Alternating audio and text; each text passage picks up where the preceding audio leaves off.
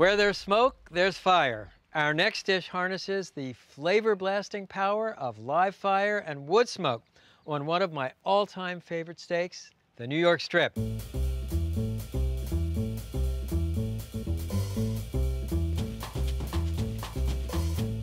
Four fingers thick, two pounds of pure proteinaceous pleasure. Step number one, season these steaks on all sides with coarse sea salt and freshly ground black pepper. The New York strip steak comes from the strip loin. And if you picture a T-bone steak or a porterhouse, it's the larger of the two steaks that are connected by a T-bone. Season your steak with an assertive hand, especially when it's a strip steak that's this thick. I'm using a Komodo Kamado ceramic cooker from Indonesia, and I filled the charcoal basket with unlit charcoal. And to generate wood smoke, we're going to add a couple of cherry wood chunks to the coals. Now I lit half a chimney of charcoal in a chimney starter, and I'll pour it on top of the unlit coals. Now install the grill grate and go get your steaks.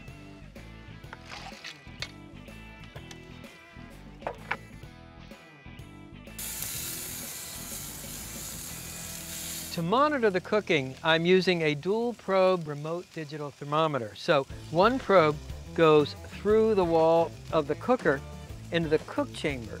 This will tell me the temperature of the cook chamber. The second probe actually goes right into the steak lengthwise into the middle, close the lid and latch it. And then you want to adjust the bottom vent so it's open about a quarter of an inch on the top vent. Close it first and then back off a quarter turn. This recipe uses a technique that's commonly known as reverse searing. That is, you cook the steak at a low, slow temperature to cook it almost all the way through. Low temperature. Then you jack the temperature up and you finish uh, the sear over a high heat. Now what does this do? Number one, if you're cooking with a big thick steak it enables you to get the steak cooked through without burning the outside. Number two, I'm actually smoking the steak before I grill it. So you're infusing the beef with a lot of smoke flavor and then putting a sear on right at the end. So while the steaks smoke, let me show you the board sauce. And I've got my remote thermometer here so I can monitor the temperature. We're about 246 in the cook chamber. That's where I want to be. Just 68 degrees, so we've got a ways to go on the steaks. So what the heck is a board sauce? Well, the board sauce was invented by a chef named Adam Perry Lang. His idea was take the ingredients for the sauce, these herbs, place them on a cutting board carve the hot steak right on top of those ingredients. The meat juices would mix with the herbs. I'm going to add olive oil. And you'd actually make the sauce right on the cutting board. And we'll start by thinly slicing a jalapeno chili. Then we also have a red jalapeno chili, and that will give us great color. And we have fresh sage leaves and fresh scallions, thinly sliced. Last of all, chopped fresh chives. Then pour about a quarter of a cup of extra virgin olive oil over the chopped herbs and chilies. And I can see with my remote thermometer that the internal temperature of the smoke strip steaks is 106 degrees. Whoa, look how gorgeous those steaks are. Burnished with wood smoke. We'll want to pull the thermometer out, take the steaks off, transfer them to a wire rack, leave the grill lid open, open up these vents wide open at the bottom because we want as much air as possible coming through. We want to build up a raging fire so we can finish the sear over a high heat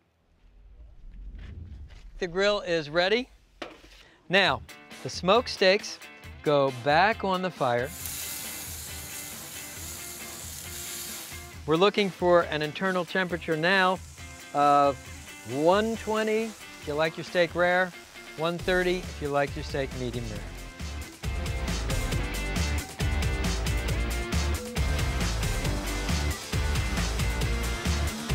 And action. We're 131, so just take out the thermometer. They are seared to perfection.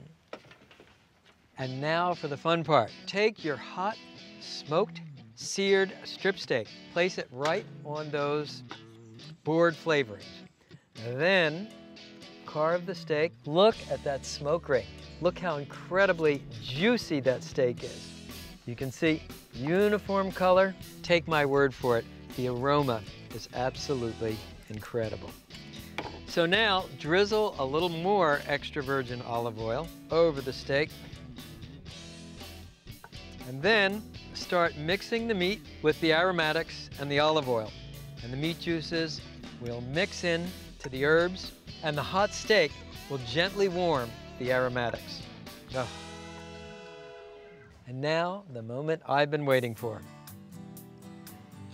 Take a steak. Mm. This is insanely good.